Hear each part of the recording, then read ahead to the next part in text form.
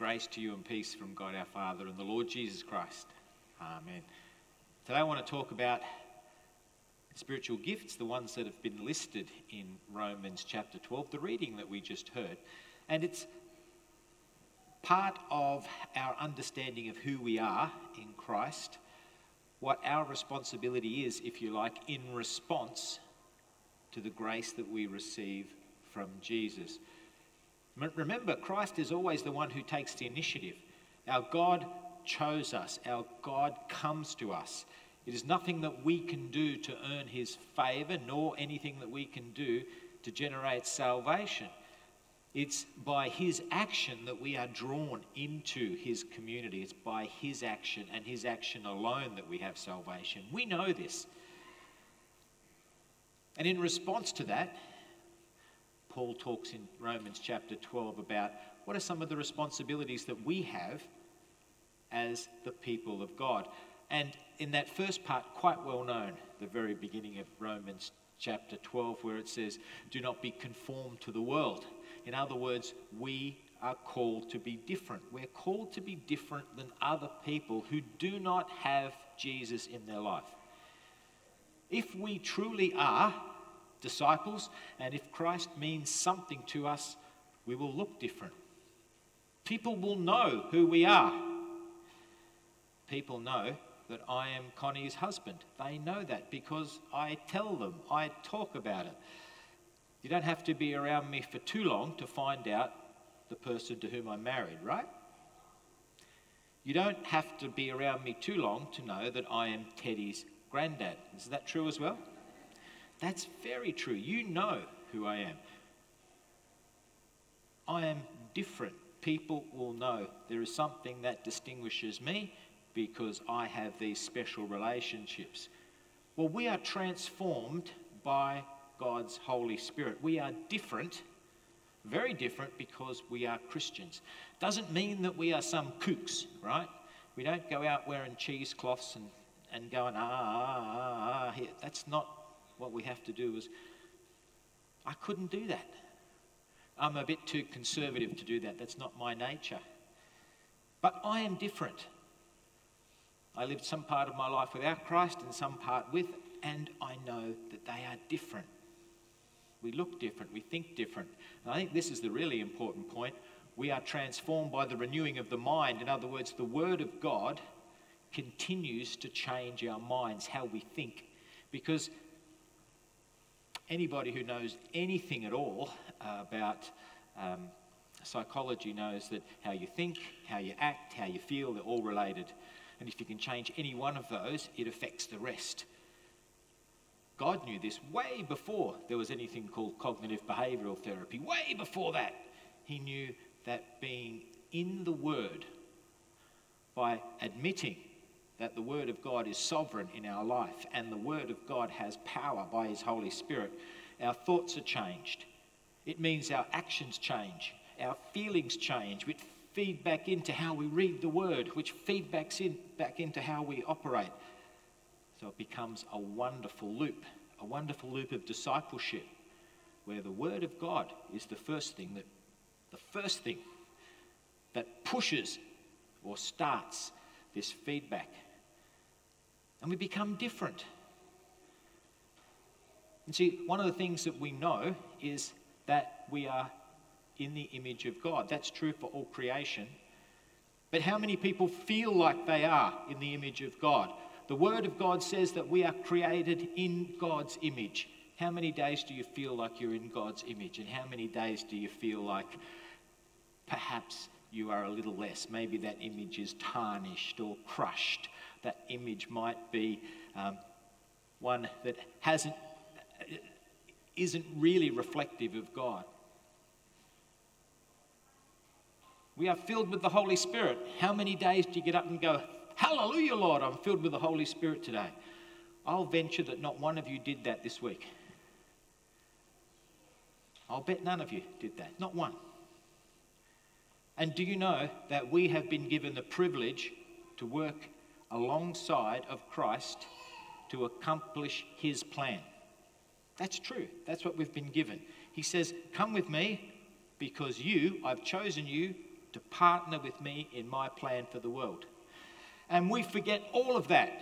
We get up in the morning and we turn on the news and we go, COVID again. Oh. And all of a sudden, we hear that there's another 25 cases of COVID, and we've forgotten completely that we are in the image of God, we are filled with the Spirit, and we have a mission that He has called us to do. So I would say to each one of us, tomorrow, the next day, during the week, wouldn't it be lovely if we got up in the morning and said, Hey, I can renew my mind, which will change what I do and change how I feel?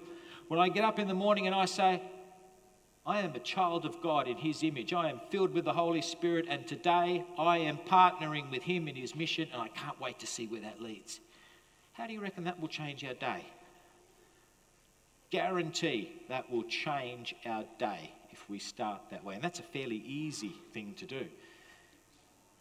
If we supplement that with saying, I want to be in the Word of God and to hear that Word, and I want that Word to penetrate my soul, well, then, wow, we'll see even more extraordinary things happen.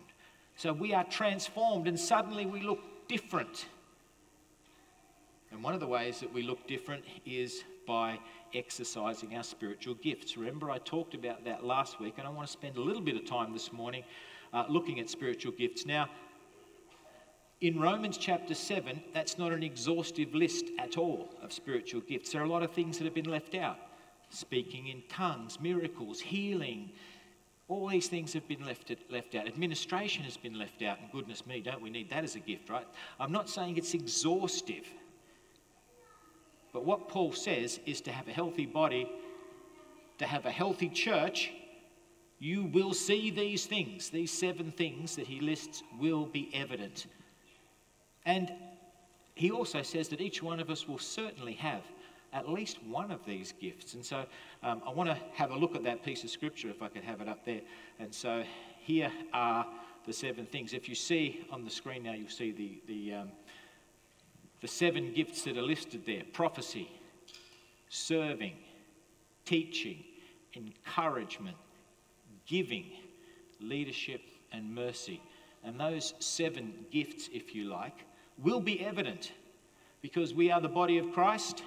He's released His Spirit, and if we are healthy, if we are a healthy Mr. Potato Head with all our bits in the right spot, you will see those. You'll be able to come into our community and you will be able to witness this. If we are an unhealthy body and all we have is everybody wants to serve and nothing else, we'll look like a potato head with all eyes. That's it rather scary rather than helpful, right? But we shouldn't be put off by these. When we read this, the Holy Spirit is touching our heart and saying, Wow, I'm calling each one of you. Where do we fit in the body of Christ? Which one of these gifts resonates with us? Because they're all important. They're all important to the, the kingdom and they're all important to the mission that God has put uh, in front of us individually and as a community. I think about prophecy. Sometimes that can be a bit scary. Oh, prophecy. But it's not scary at all. In fact, the Christian church believes strongly in prophecy. Paul says, eagerly desire spiritual gifts, particularly the gift of prophecy. He puts it right at the top. He says, This is important because prophecy is simply taking the word of God and applying it to a situation today, saying, I'm going to speak God's word into this situation. So, in some respects, what I'm doing now, bringing the word of God to you in this situation, is prophecy. And other times, it's somebody saying, I hear your situation, I know you. Let me bring God's word into this. It's not about us trying to invent something new. It's saying, God's revelation is full in the Bible. There is nothing to be added to it, but let me use the tools that I've got and let me apply it skillfully to your situation.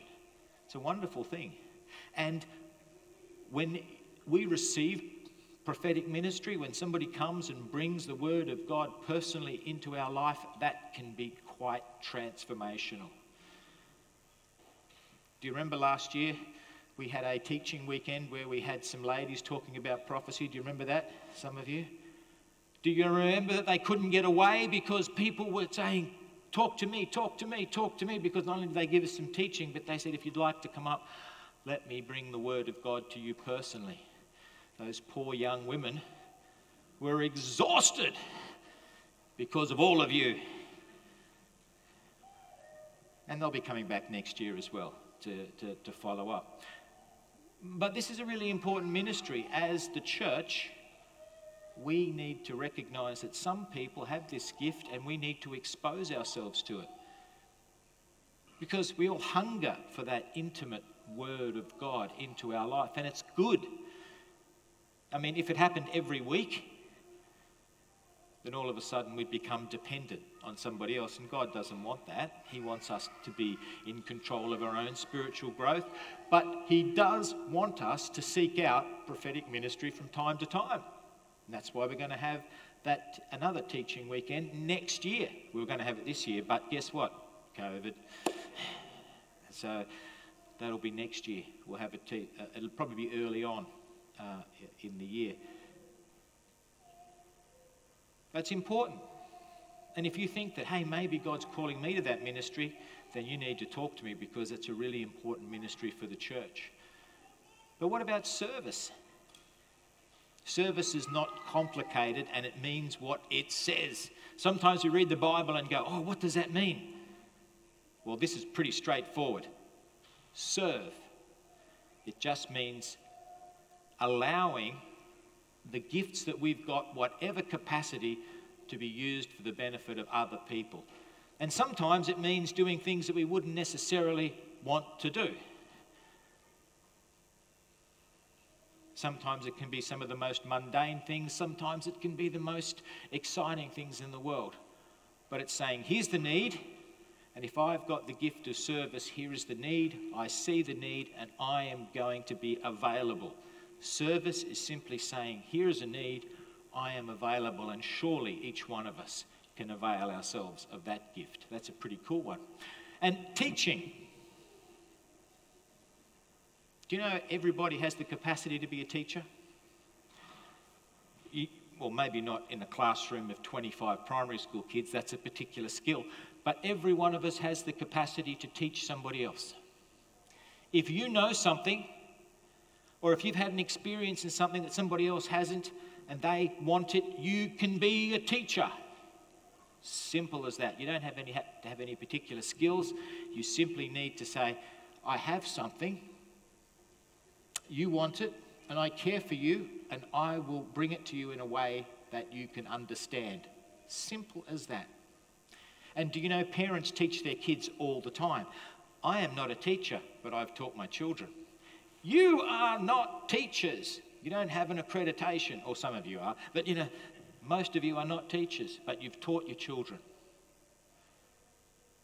And isn't it interesting? I think about some of the teaching that I did for my children was at the dinner table when they said, Tell me about this, tell me about that. How many times have your kids said, Tell me the story about?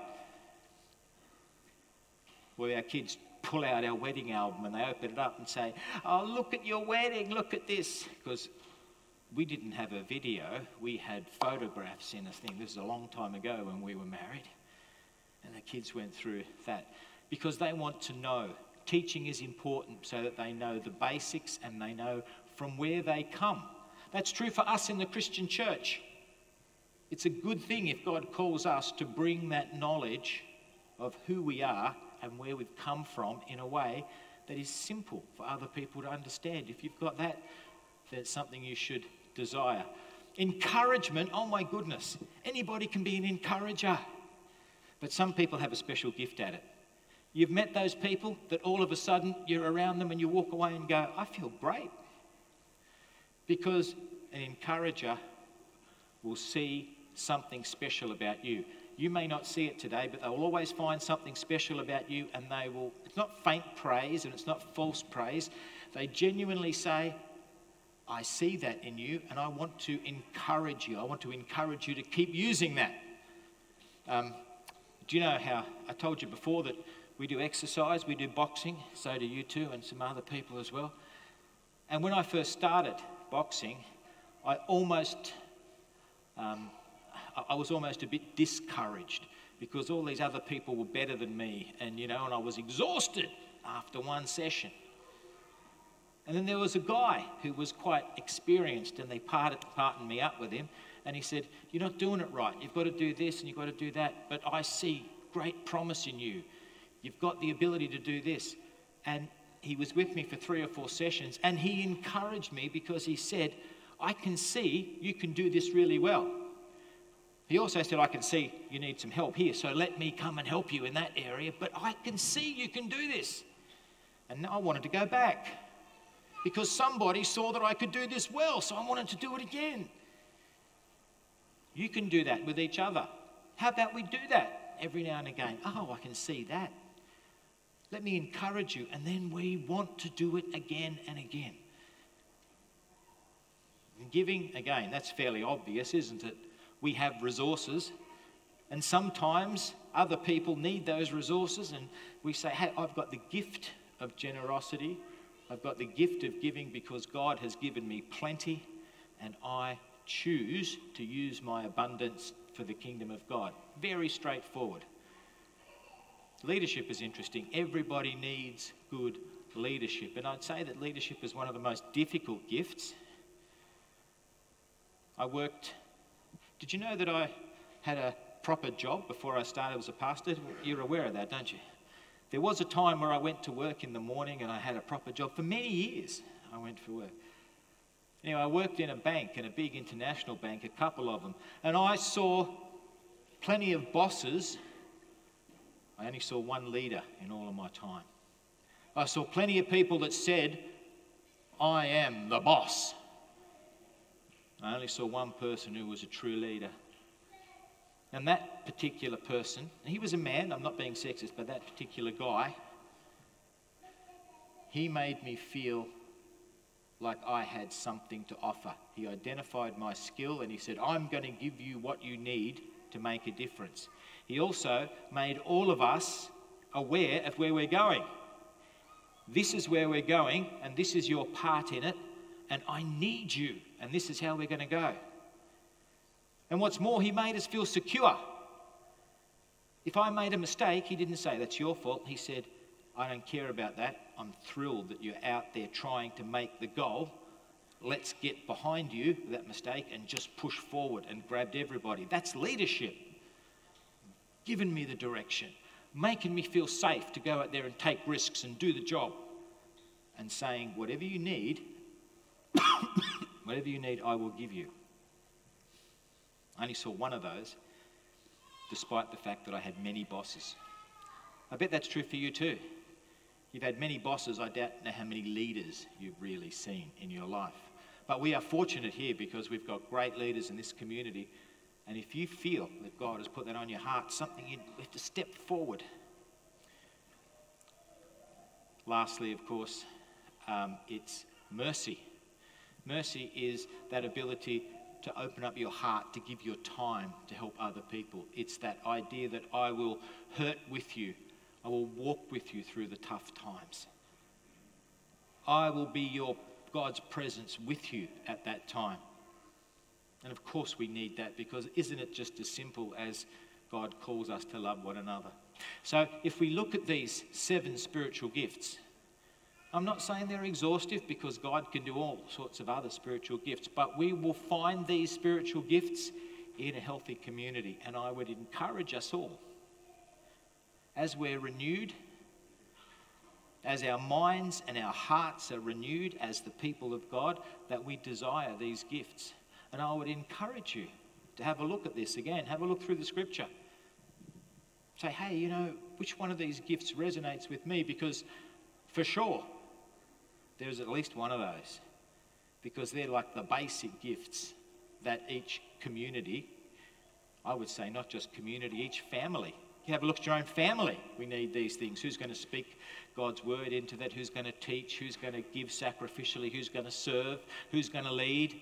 All these things to be a healthy organization, to be a healthy uh, um, group of people in the presence of God, these things will be evident. So I pray that we would know these gifts, we would see the opportunity, we would be bold and use these gifts. Why don't we pray? Lord, thank you that you've given us a description of what your bride looks like, the church.